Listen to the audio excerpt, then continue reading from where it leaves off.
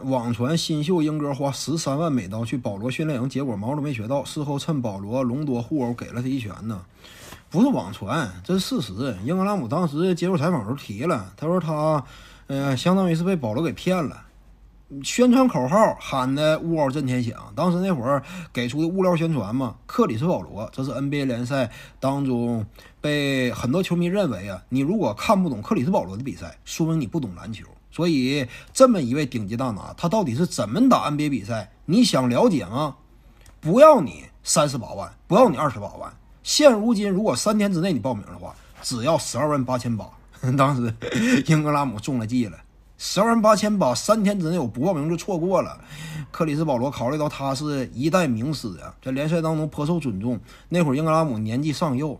自己呢，呃，仔细思忖呢，这事儿告不告家大人呢？考虑到自己的父母挣钱，其实在当地呢也没有那么容易，起早贪黑，属于是白手起家，艰难创业，有了一片家产了，但这些东西都是靠汗水呀，日积月累，这东西积攒下来的家资也不容易。经营一个球馆，小县城呢，虽然说是室内球馆，但实质上门票收入这块也是比较有限，一张票一张票挣出来的。甚至父母二老啊亲自要参与打扫，这玩意儿多累呢！挣这点钱呢。英格拉姆当时也合计，我告不告家大人呢？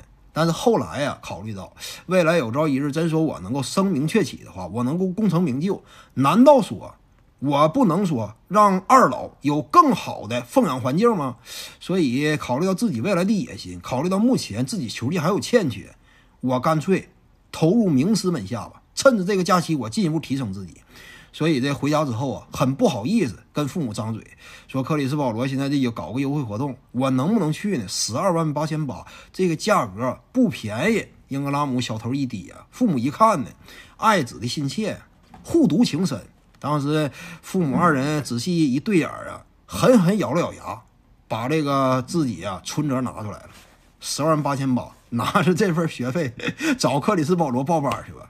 所以这个英格拉姆呢，坐长途汽车到了克里斯保罗的训练营，交完这费用之后，结果保罗来了，讲了一通官话套话，教了一些基础动作，然后呢，不教别的了，藏着掖着自己真正的压箱底绝活呢，一招没学。这就英格拉姆 回来之后，不好意思跟父母讲，就这个仇恨呢，这种种子，因为英格拉姆非常了解自己父母有多么劳累供养自己，就是自己被骗了，花了十几万美元，啥也没学着，这口气。你当时他恨不恨他？要搁你你也恨呢。所以这个后来就是参与斗殴嘛，打了保罗一下。这个怎么讲呢？我感觉当时啊，一是什么？英格拉姆之前确实挺恨这个保罗。这个人表面道貌岸然，实质上呢什么钱都挣，这都是脏钱呢。因为这年轻小孩啥也不懂，你说你糊弄人，这不行啊。再有一点呢。之前再早的时候，湖人队啊曾经出现过尼克杨一 v 五，一个打五个，你说那个窘境让人感觉，简直是不忍直视了。没有帮手，你说当时那会儿尼克杨被对方影分身组合，就这个大小莫里斯前后夹击，再加上其他一堆帮手，打的这个尼克杨啊，那简直是节节后退，被对方去围而殴之。当时，所以这个英格拉姆一想到湖人队之前那种。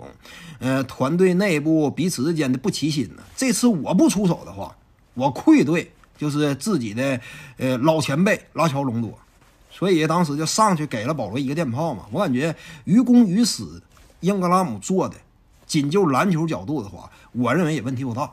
这就是各为其主。当时点赞加关注，感谢您的支持。